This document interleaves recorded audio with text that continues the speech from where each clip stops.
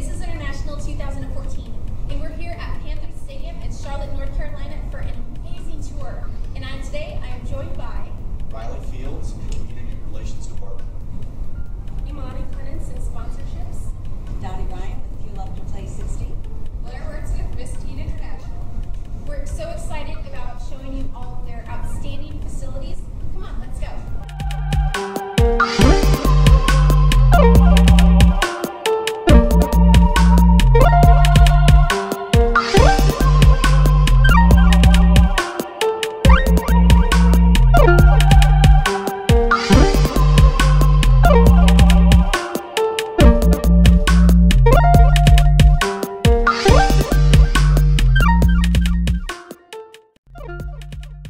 the assistant head coach that day, and it was just, it was, everything about it was just awesome. Where fans responded, and he, became sort of uh, a B-list celebrity there for a while.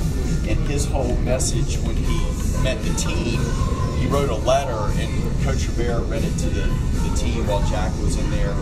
And essentially, he said, "I'm going to be watching you. You know, I'm going to be, I'm going to be watching for like good things, but I'm also going to be watching for mistakes." And he was telling him, you know, to kind of stay after. So this whole thing was, "I'm watching you," and um, he went to a uh, uh, game at the Falcons, a poster. We had a picture of um, Coach Jack was in there watching him, and then he sent he sent that to Coach Rivera, which we didn't even know. I mean, we had pictures that they texted us from the game. Coach Rivera puts it up. We didn't even know it, and I was walking through this past summer. Am I seeing? Am I really seeing that? Like that is awesome. And so uh, every, every guy passing through every day, you see that you know Coach Jack is watching them, and so they need to stay after.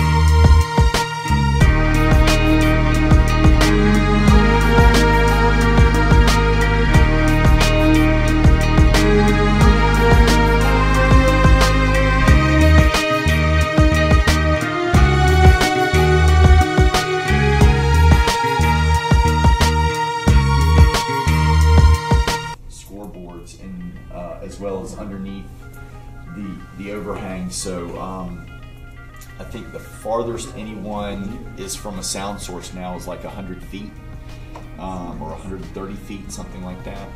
So um, when you the, the sound in our stadium now is just you don't necessarily think about the quality of sound, but we went from a transistor radio to full stereophonic awesomeness, and uh, it just it impacts just the whole game day experience in a, in a really really exceptional way that I don't know that everyone considered before before or fans really thought about.